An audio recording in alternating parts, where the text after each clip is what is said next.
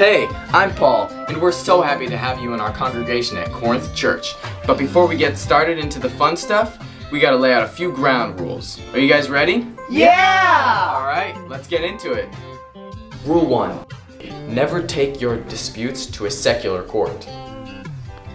Well, that's it. Sweet by me. You suck. No, I didn't lose. You cheated. No, you're just bad. How about we take this into secular court? Hey, whoa, whoa, whoa, whoa, whoa, whoa. Brothers, what is Rule 1. What is Rule 1?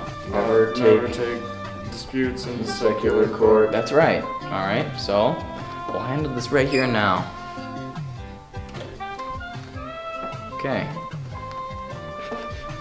Um, so I've gotten um, several recent reports about a certain member of the church doing uh, just some very inappropriate things with family members.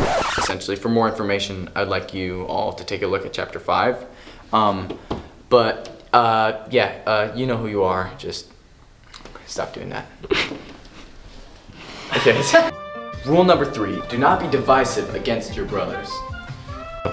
Hey, did you hear about the dumb new letter Paul's writing to us? it's so stupid. I didn't actually think it was that bad. Well, then I think you're an idiot. Oh, yeah? I bet you didn't like it the way you were reading chapter 5 earlier. Oh, hey now, hey now, boys, hey now, boys. This doesn't look like good Christian behavior now, does it? Now, what was rule number three? Don't be divisive against your brother. Perfect. Now, seriously, take a good look at chapter 5, alright? Hold on. Rule number four pay no attention to false prophets. Hey, according to Paul, sexual immorality is a-okay.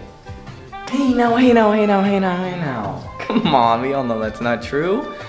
Come on, fly the straight and narrow, my son. Come on, don't believe false prophets.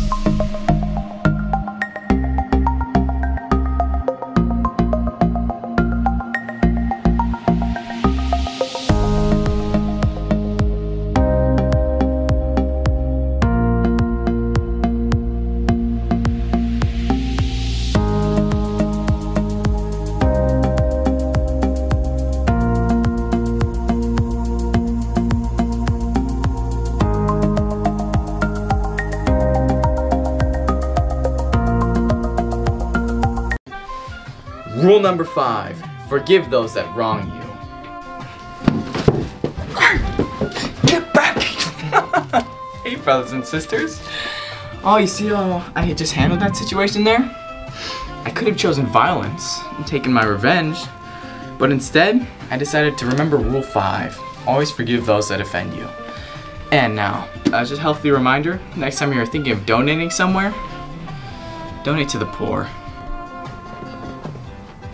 Rule 6 Stay away from worldly things. Look at me. Oh, lowly me. All I have to my name are my Bible and my Goodwill tie. what do you got there?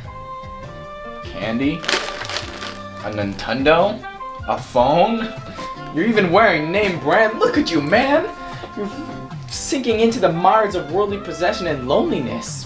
Why would you be satisfied? Oh, look at that flap. Go ahead and exercise, huh?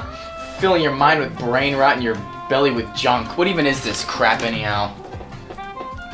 Oh, gross! I'm taking this. Come on. Follow the straight and narrow, my friend.